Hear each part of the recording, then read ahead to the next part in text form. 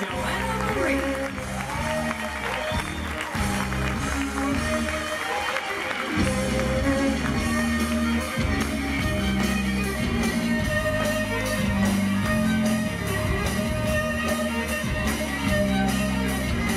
now introducing your international lifestyles.